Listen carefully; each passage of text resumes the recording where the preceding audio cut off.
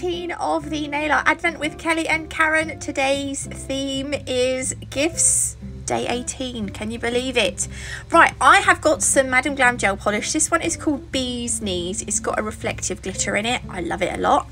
Onto a form backing, I'm going to put about three three or four lines of gel polish. I'm not making this thick. This is going to be nice and thin.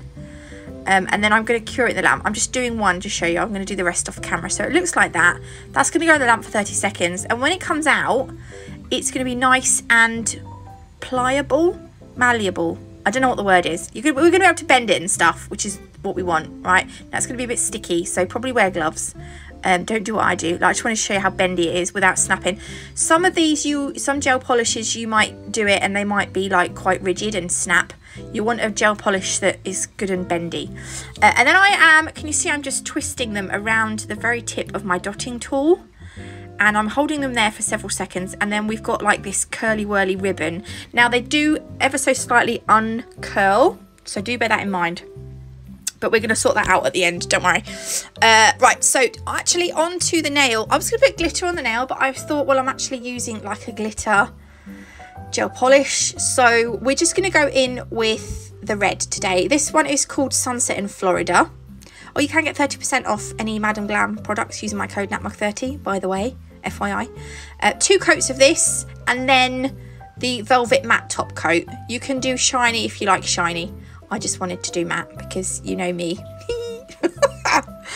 uh, then I'm going to use the gel polish that I've put on my makeshift form backing palette. I'm going to do two lights. So we're going to pretend this is the like the ribbon of, of the gift.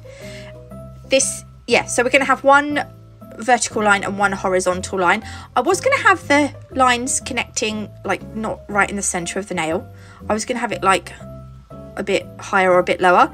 But I thought because of what I'm going to do, I thought I'd better just keep it in the middle so that we've got a nice even distance all the way around. So I'm going to pop that in the lamp for a cure. And then I've put some no wipe top coat on the little form backing as well. And I'm just going to gently carefully go over the top of the gel polish that's going to be the ribbon. Uh, this kind of nail is not going to be practical at all for someone, you know, like for a client that's going to wear it for three, two or three weeks.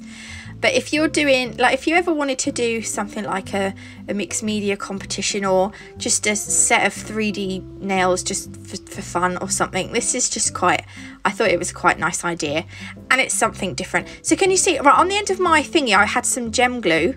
I've just placed the gem glue on the nail and I'm using my UV torch just to cure the ribbon onto the nail. I will pop that in the lamp to give it a full cure. Can you see it's stuck to the nail now? And I'll do that with all the others. After I'd done two, I decided, I'm going to go out a shot a little bit here. I decided to coat the actual ribbon bits with the top coat because I hadn't top coated them yet. So this is just going to stop them from being sticky. Um, I went out a shot, so this is just me showing you that I'm covering them with top coat. Pop them in the lamp and I'll show you what happened. They kind of uncurled and stuck slightly to each other. I still like it though. I think that looks really nice.